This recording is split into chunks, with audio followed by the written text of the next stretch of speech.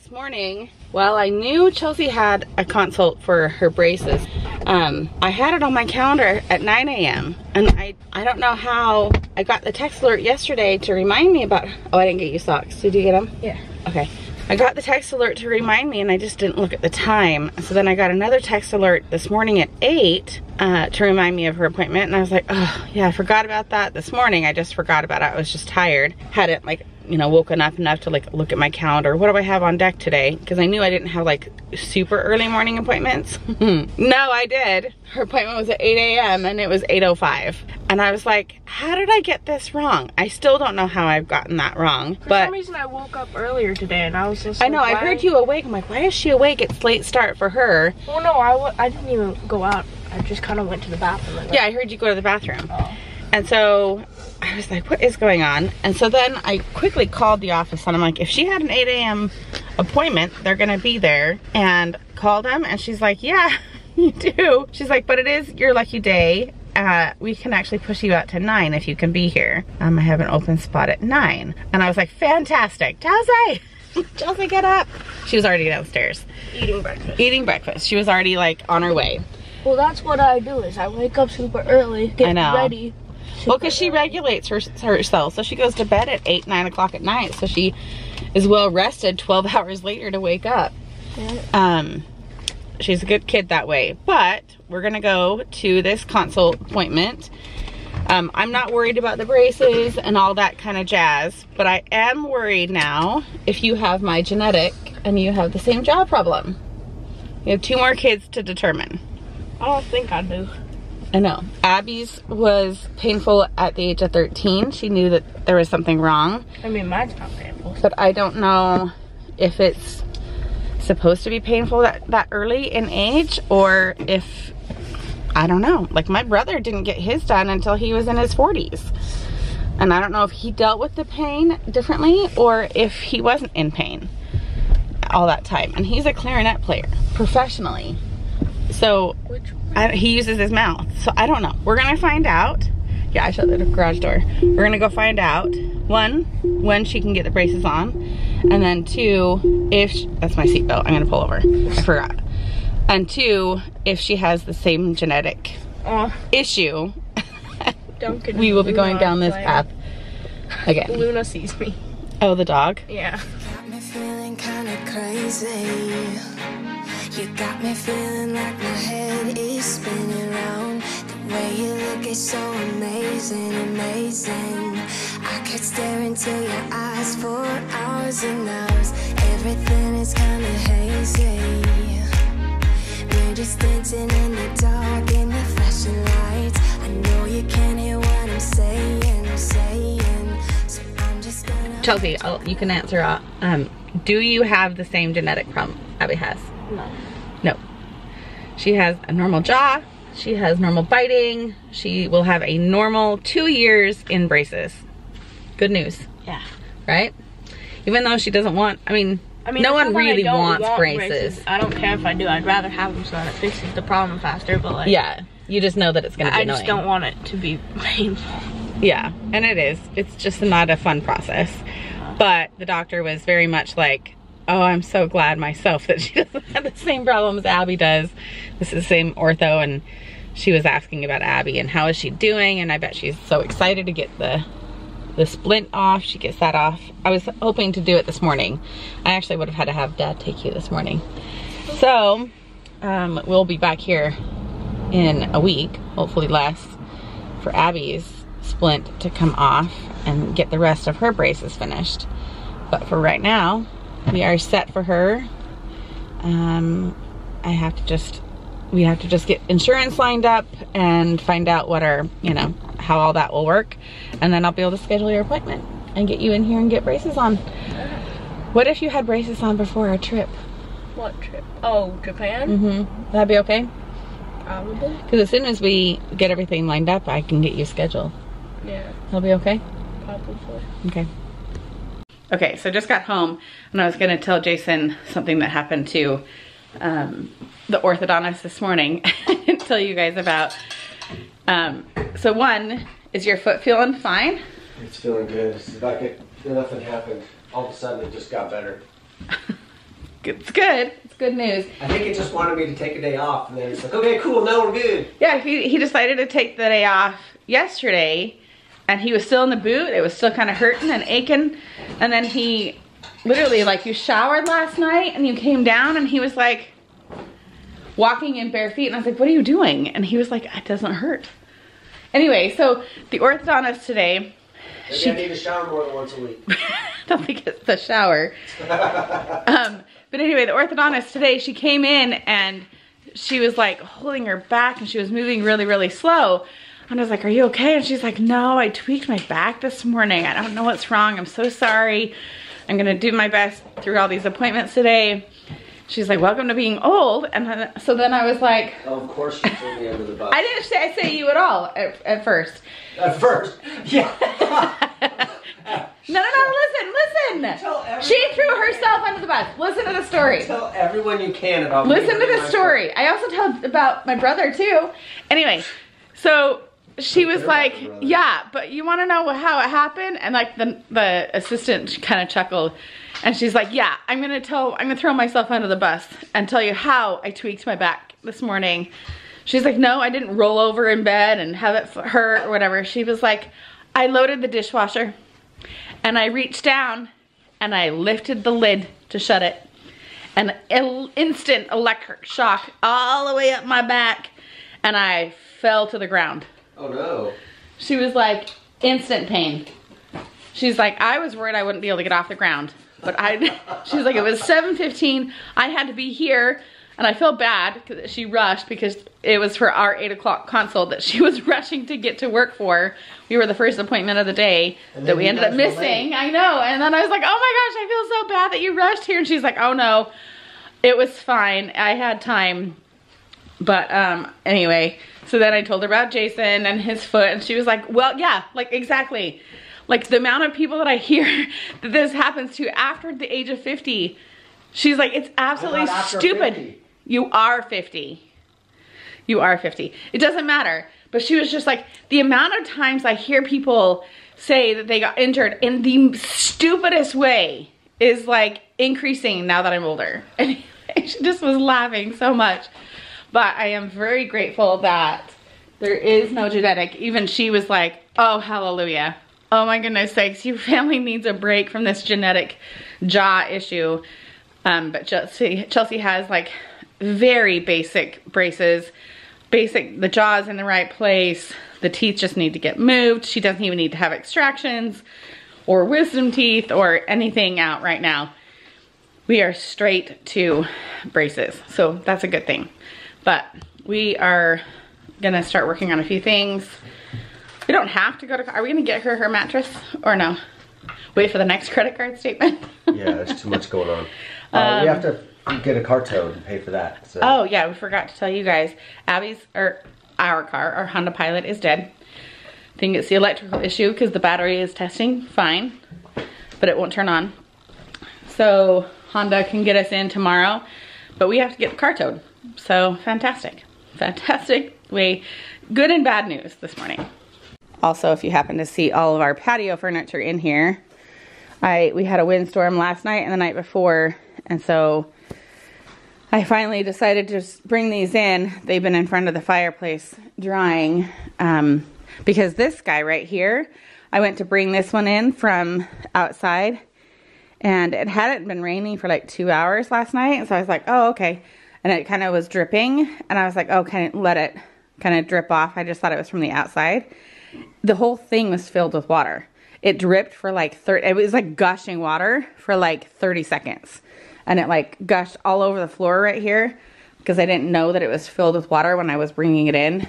Anyway, so then I just, these guys weren't like soaking wet. They were just cold.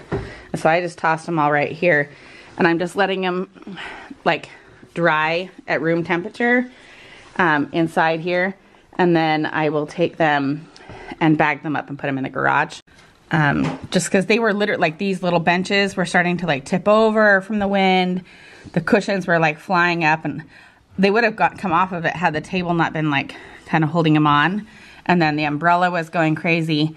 Jace, I wouldn't mind unhooking the umbrella and taking it to the garage just to protect the umbrella and to like, well, yeah, now that your foot's feeling better. He's not in a good mood. It's on my priority list. We didn't get the car towed. Okay. Okay, we've been waiting for a couple hours now for a tow truck to come and get the pilot. Right smack dab in the middle of something. Actually, a whole lot of some things. But I'm gonna rush out here with Jason. Tow truck just got here. I'm gonna film him coming to get our car real quick.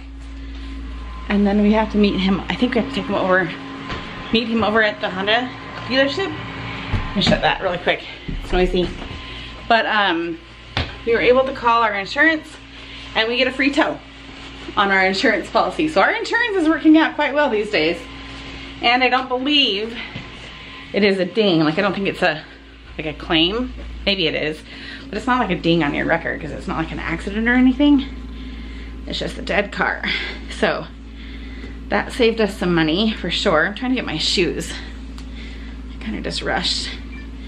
So problem is I don't think we can get the car in neutral. So I'm not sure how we're gonna get it onto the truck bed. So now the tow guy has actually got it started with charging it, which the Okay, I guess we don't need that guy anymore. He actually jump started the car, which we didn't jump start it because it said that the battery was dead. Like dead dead. Like you tested it and test it. no, you tested it. No, I tested it and the battery thing said it was fine.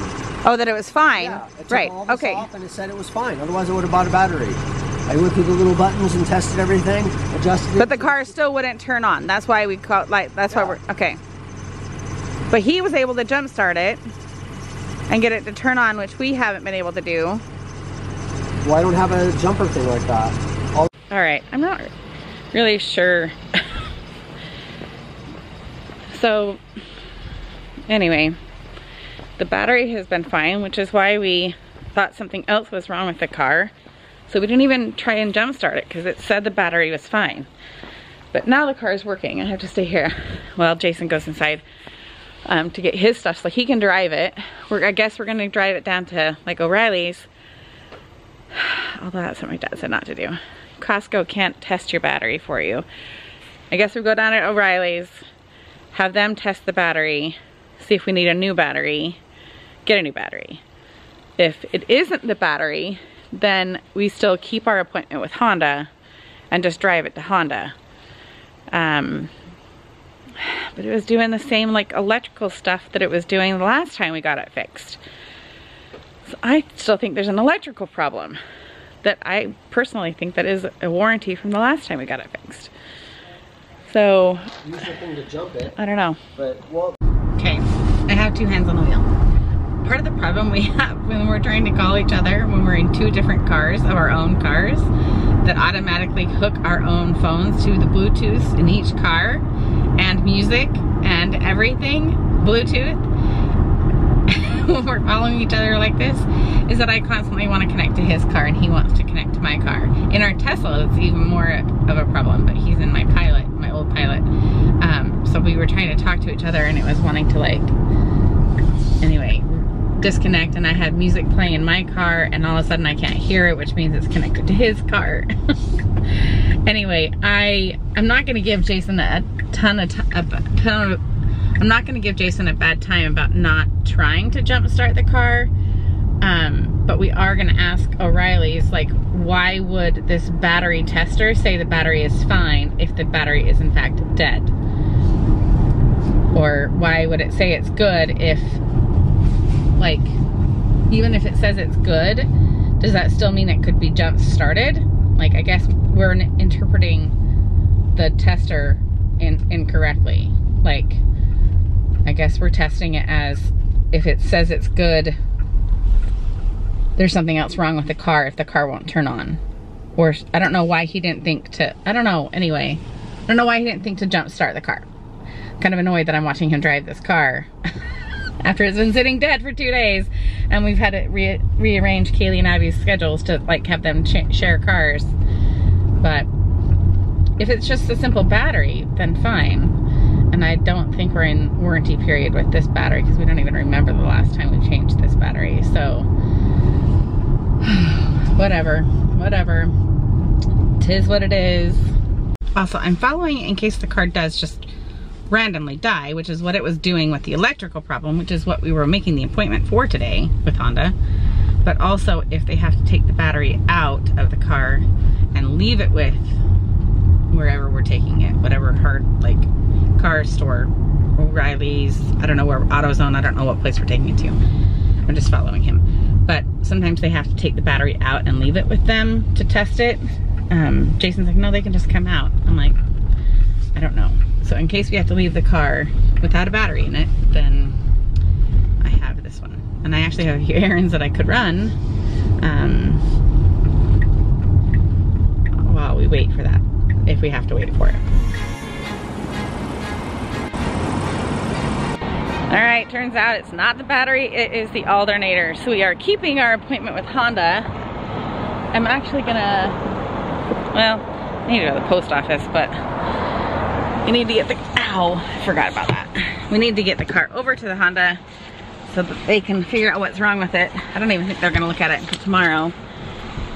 Um, so we need a new alternator, but luckily the guy was able to test it. And he's like, yeah, it's totally your alternator. It's not charging the battery, which makes sense. I don't know that we've ever done the alternator on this car, so, mm, whatever.